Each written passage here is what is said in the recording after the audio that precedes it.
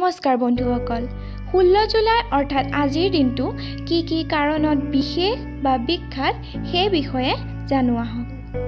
ওঠৰশ অষ্টাশী চনৰ আজিৰ দিনটোতে পদাৰ্থ বিজ্ঞানী ফ্লিটাছ জাৰাইনাকৰ জন্ম হৈছিল। তেওঁ পদাৰ্থ বিজ্ঞানৰ নবেল বঁটা লাভ কৰিছিল। ঊনৈছশ আঠ চনৰ আজিৰ তাৰিখতে দিল্লী কংগ্ৰেছ কমিটিৰ সভানেত্ৰী অৰুণা আছফ আলীৰ কালকা নামৰ এখন গাঁৱত জন্ম হৈছিল। ঊনৈছশ ত্ৰিছ চনৰ এই তাৰিখতে অসমীয়া সাহিত্যৰ ইতিহাসত সৌৰভ কুমাৰ চলিহা ছদ্ম নামেৰে পৰিচিত সাহিত্যিক সুৰেন্দ্ৰনাথ মেধিৰ জন্ম হৈছিল। ঊনৈছশ তেত্ৰিছ চনৰ আজিৰ দিনটোতে অসম সাহিত্য সভাৰ প্ৰাক্তন সভাপতি সাহিত্যিক সাংবাদিক কনকসেন ডেকাই নলবাৰীৰ বেলচৰত জন্মগ্ৰহণ কৰিছিল।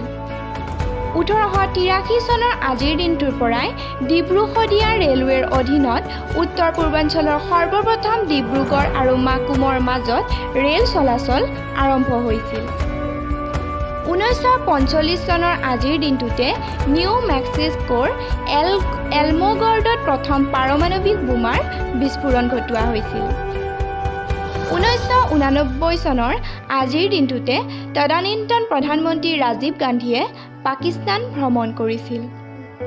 ঊনৈছশ ঊনসত্তৰ খ্ৰীষ্টাব্দৰ এই দিনটোতে চন্দ্ৰপৃষ্ঠত অৱতৰণৰ বাবে মানৱবাহী মহাকাশযান এপল' এঘাৰ আমেৰিকাৰ দ্বাৰা উৎক্ষেপণ কৰা হৈছিল।